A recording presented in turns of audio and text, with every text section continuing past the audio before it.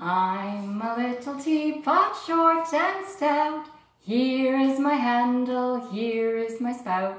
When I get all steamed up, then I shout, tip me over and pour me out.